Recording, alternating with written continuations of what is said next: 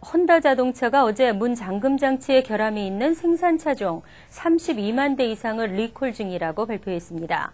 아, 지난 수년간에도 혼다는 각종 결함을 가진 출시 자동차 수백만 대를 리콜한 바 있는데요. 현재 이 문제로 인한 사고와 부상자는 없는 상태입니다. 혼다는 어제 2012년형 CRV SUV와 2013년형 아큐라 ILX 세단에 문 잠금 장치 이상으로 차량 문이 예기치 않게 열릴 위험성이 있다면서 리콜을 발표했습니다.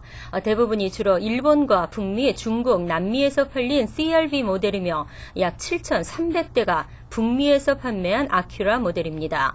혼다 대변인은 그러나 지금까지 문 잠금 장치 결함으로 인한 사고와 부상자 발생 보고는 없었다고 덧붙였습니다.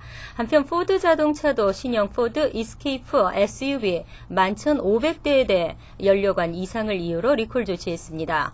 포드는 이스케이프의 연료관이 파열해 기름이 새면서 엔진에 불이 날 수 있다며 무상 수리가 끝날 때까지 운전하지 말라고 경고했습니다.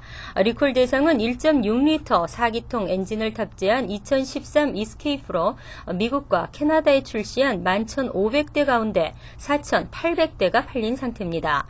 나머지 판매장에 있는 이스케이프는 고객에게 팔리기 전 수리를 마칠 방침입니다. 포드 역시 이와 관련된 부상자는 없다고 밝혔습니다.